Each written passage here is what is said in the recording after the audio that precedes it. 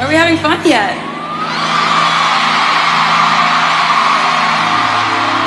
Oh, good. You know, you may notice this. Not sure if you picked up on it yet. I'm pretty sure you have, though. Have you noticed that you have a light up bracelet on your wrist? There they are.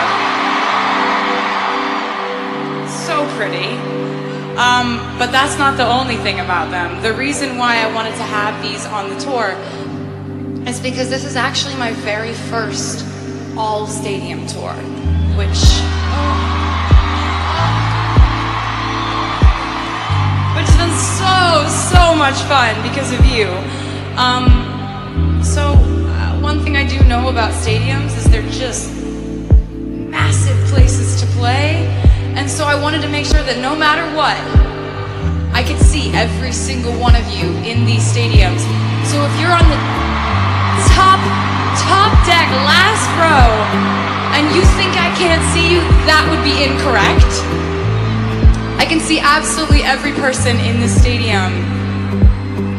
And I can see you dancing, I can see you throwing your hands in the air.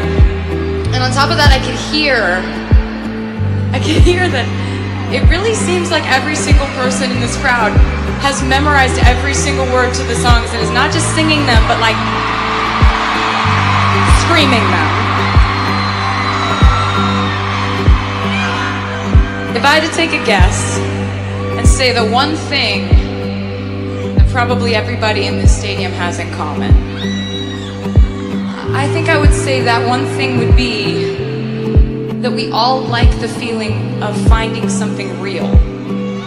Like, you know, finding real friendship or finding real love or somebody who really gets you or someone who's really honest with you. I think I think that's what we're really all looking for in life and I think that the things that can scare us the most in life are the things that we think will threaten the prospect of us finding something real. For example, having a bad reputation in our mind could get in the way of you finding real friendship, real love, real acceptance, people you really fit in with. Because you think to yourself, what if they've heard something about me that, that isn't true? What if they've got these preconceived notions about me that they heard from gossip? And then they never even want to meet me, and then we'll never know what could have happened. Why some of us, meaning most, if not all of us, are sort of afraid of having a bad reputation because we're so scared of something fake, like gossip or a rumor about you, or a name you got called, getting in the way of you finding something real. And so when it comes down to that fear and that anxiety, it's just all really delicate, don't you think, Dallas?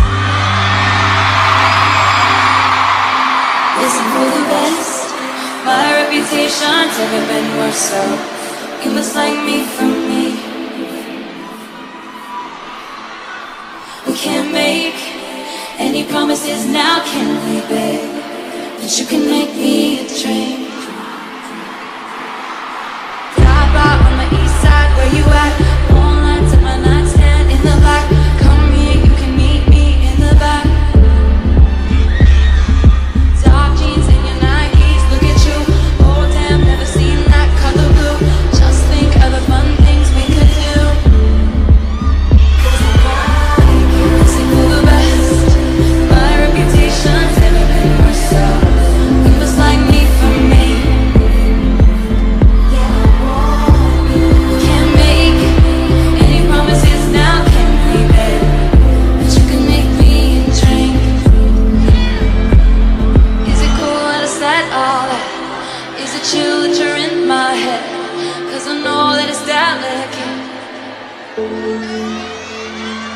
Is it cool I said all that? Is it too soon to do this yet?